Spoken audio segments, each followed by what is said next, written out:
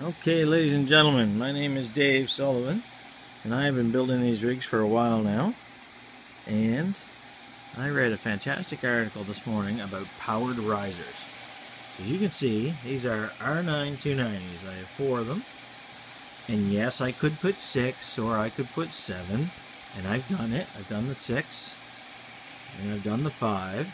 And I have figured out, no matter what, four is my happy spot. Now, I was using powered risers because I always had two power supplies. But then I came across this theory. Buy one big power supply that'll run four super happy and I don't have to screw around with two power supplies, which is a pain in the butt. Second, I don't have to worry about all the crossing over of power. Now my crossing over of power was happening because I was using powered risers. Now as you can see, these are my powered risers. And they're not hooked up. Not hooked up. Not hooked up. And not hooked up. Running all on PCX1 to 16s. see that in there.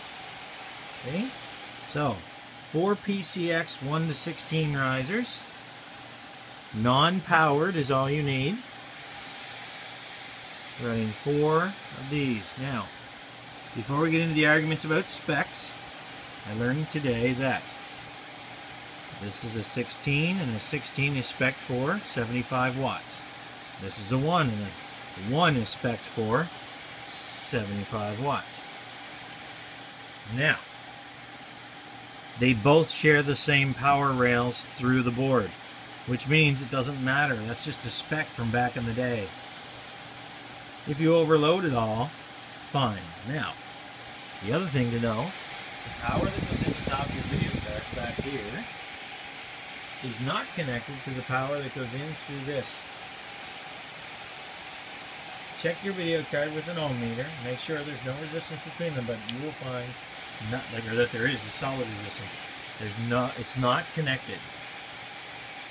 So if you're using the same power supply, same motherboard, same plug, same everything, use non-powered risers and they are perfectly fine and there's more than enough power in that big bus to handle at least four R9 290s running happily. Let me show you here.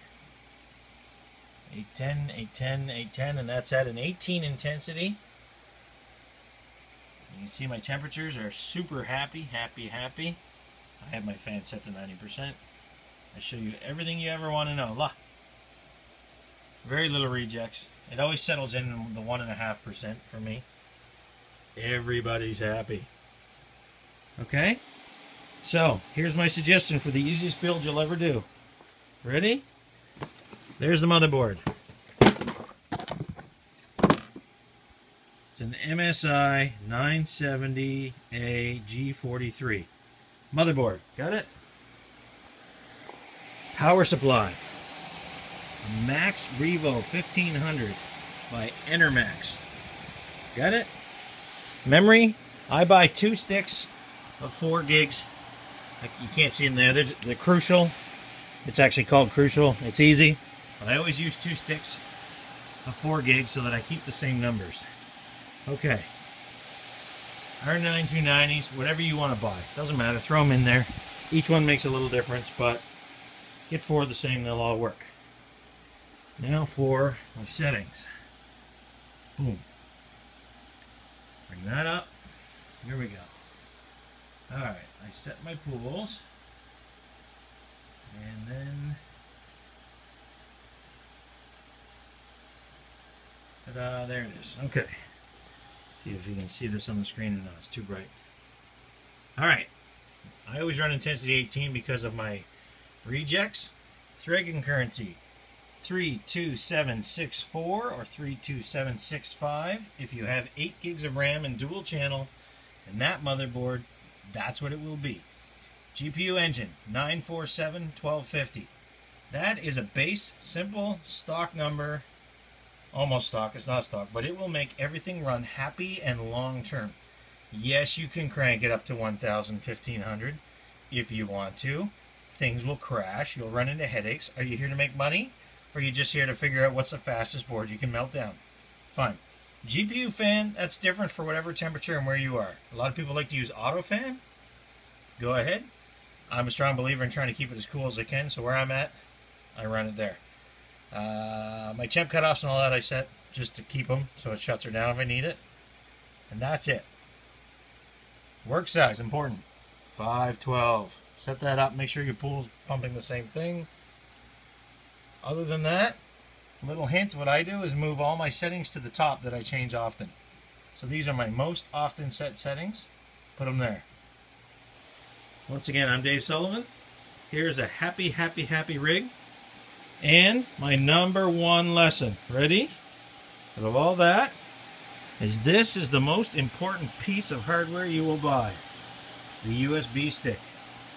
Make sure you buy a Kingston Traveler or a SanDisk Cruzer, something with really good quality. You're going to spend, I happened to get that SanDisk. It was on a, on a shelf. It was an 8 gig SanDisk for $11 at Walmart. Right? Um, my other two machines that are still up and running great have uh, uh, Lexar something, but they were they were twenty dollar stick. Make sure you buy the good quality sticks. Okay, buy that stick. Don't cheap out. Yeah, you can buy the five pack, the cheap pack, the whatever.